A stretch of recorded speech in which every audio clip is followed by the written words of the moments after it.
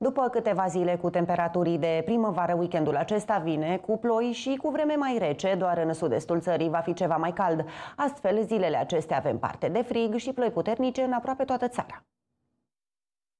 Și în zilele imediat următoare, chiar dacă valorile de temperatură vor continua să scadă, acestea vor fi în continuare mai mari decât cele normale perioadei, în special în uh, regiunile extracarpatice, unde astăzi, spre exemplu, așteptăm în orele amiezii să se înregistreze temperaturi izolate de 14, chiar 15 grade Celsius, temperaturi cu mult peste cele normale perioade. În capitala astăzi în jur de 12 grade, la fel și mâine, însă în seara și în această noapte care urmează în capitală va ploua, va ploua temporar și duminică. Vremea intră într-un proces de răcire, însă se va menține deosebit de caldă pentru această perioadă în jumătatea de sud-est a țării, cu temperaturi mai scăzute în restul teritoriului. În schimb, cerul va fi mai mult noros pe tot parcursul zilei și vom avea parte de ploi în aproape toată țara. De luni, procesul de răcire a vremii va continua, iar um, acest lucru nu va face altceva decât ca pe parcursul zilei de marți, la scara întregii țări, inclusiv în zona municipiului București, să se înregistreze valori de temperatură normale pentru perioada în care ne aflăm.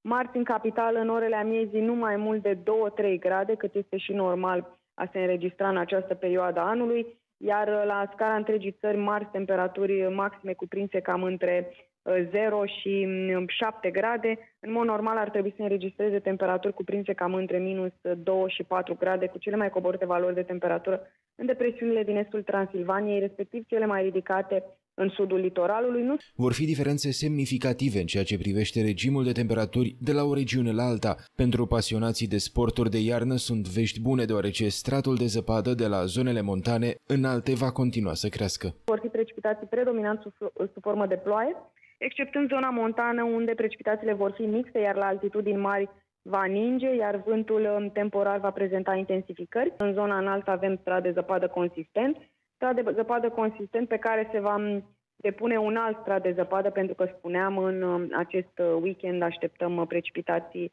mai ales sub formă de nisoare în zona montană înaltă.